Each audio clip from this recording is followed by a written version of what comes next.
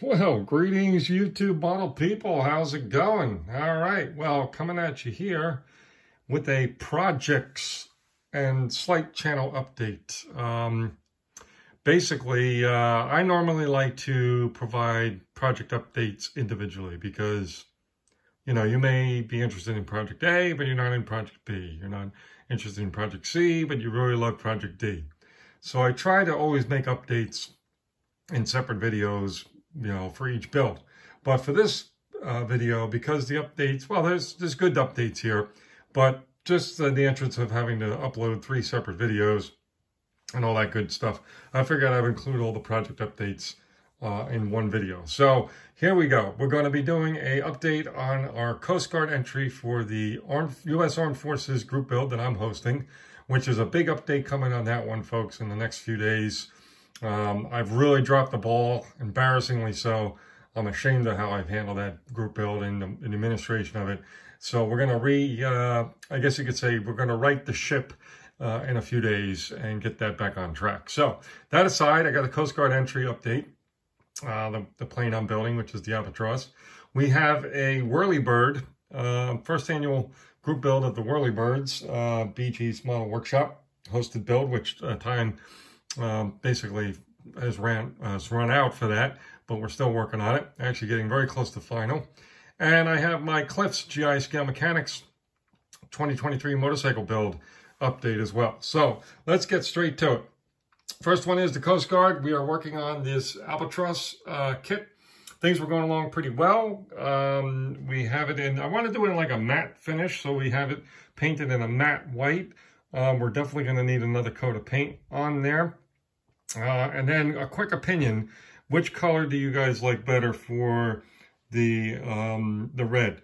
It's obviously, I think it's the one on the bottom there. Um, the one on the top looks a bit too orange to me. So tell me what you guys think. I think that one, uh, the, the, one below that, which is more red than orange, um, should suffice based on the box art.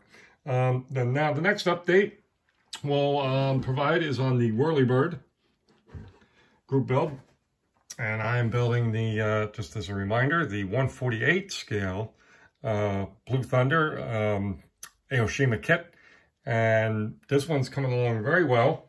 It's not going to be contest, um, you know, entry kind of thing, but I'll, I'll put it in one anyway because it's something a little different. So here's the Whirlybird in its current state. Um, this was not fun, and I'm not good at masking, but we did have to go all out for this very distinct um, canopy glass for the uh, Blue Thunder. As you know, it's a big part of the way this, um, you know, helo, chopper, whatever you want to call it, looks.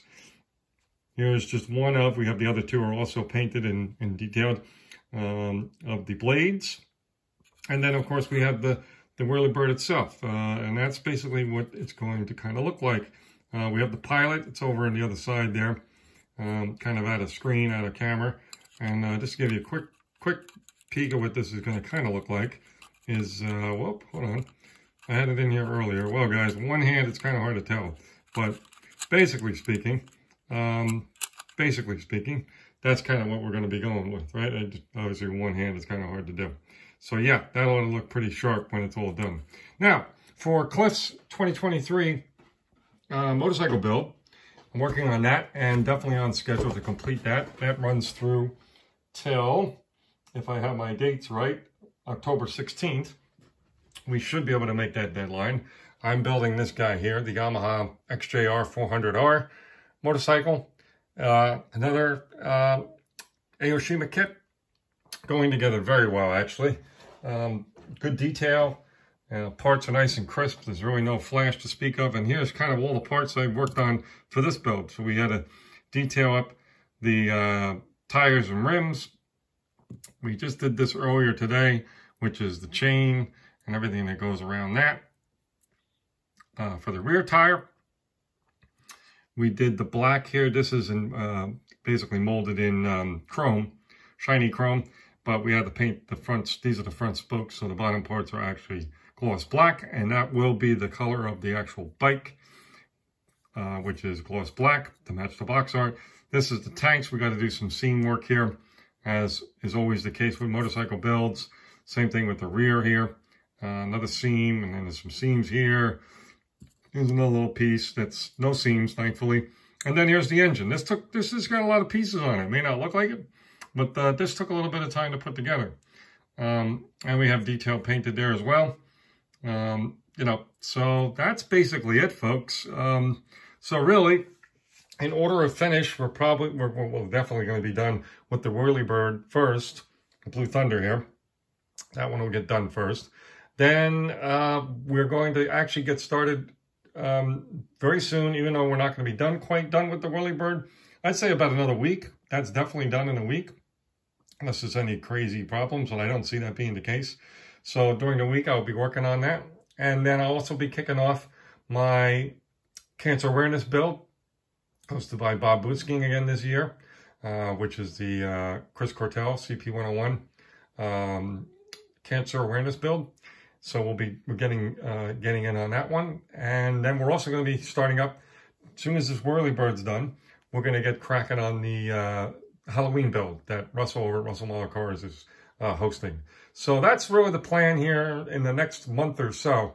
The projects we'll be working on, and as the motorcycle gets done, we'll be uh, pretty much getting into our NASCAR. We did not forget about the NASCAR build hosted by Jeff over at Jeff's Model Garage and Fred Henry, Pappy. Uh, we have not forgotten about it, but that's not due till November, so we have some time to get on that one.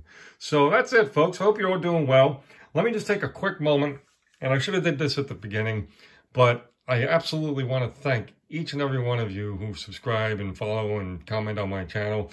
Uh, even if you just follow along and you don't comment, I can't thank you enough. I've gotten a lot of subscribers uh, fairly recently. I did do a, uh, podcast with uh, Lukace. If you're uh, familiar with uh, Matt, his channel, Lukace, check it out, L-U-K-A-C-E, and I did the Unpodcast, and it was kind of fun is uh, toward the end of that um, video, or halfway through, you'll see there was an extra guest that joined us, which was super cool uh, during the uh, the chat. So after that, I think visibility, I was uh, definitely uh, picked up some more subscribers. So again, if you're new to my channel, I thank you so much for uh, jumping on and following along. Um, we're going to try to keep it interesting. We're always keeping it busy, that's for sure. And uh, yeah, it's just all about having a good time and building all kinds of things. Again, Mutt Modeler is my name because I love to build any kind of genre that exists.